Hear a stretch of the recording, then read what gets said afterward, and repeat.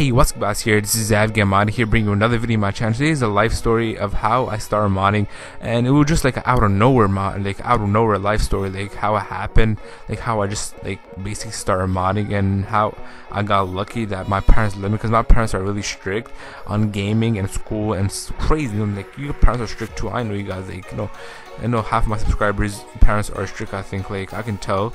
So yeah so I was in Canada for vacation on August. Like it was August, I went for one month to Canada. I had no YouTube, no nothing, guys. Uh, I was like a regular person. Uh, I just like play PS3 and just like I was like the, those nerds and those tryhards, trick, trick shot and stuff like that.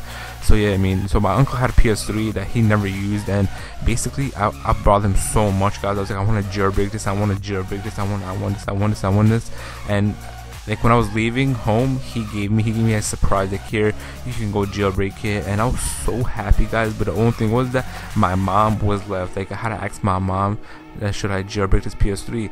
So so after one month later, September, I went home, and when I went home in September, September two, two thousand and wait, was it 2013? Or I think it was 2013. No, it was 2014. Yeah. September 2, 2014. I want I found this guy on Craigslist that was like five minutes away from my house, and he was a really cool guy. He was a Mexican guy, but he was a really cool guy. I'm not trying to be racist here, guys. I mean, my friends are Mexican, and this guy was Mexican. He was a really cool guy.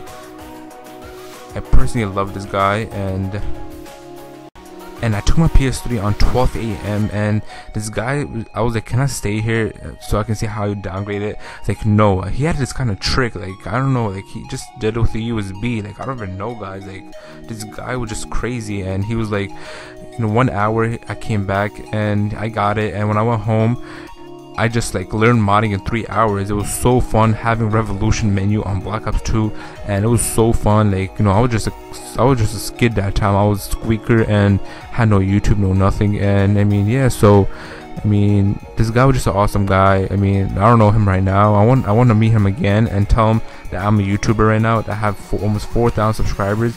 So yeah, if you guys enjoyed the video, I'm so close to 4,000 subscribers. So please leave a like, please subscribe to my channel.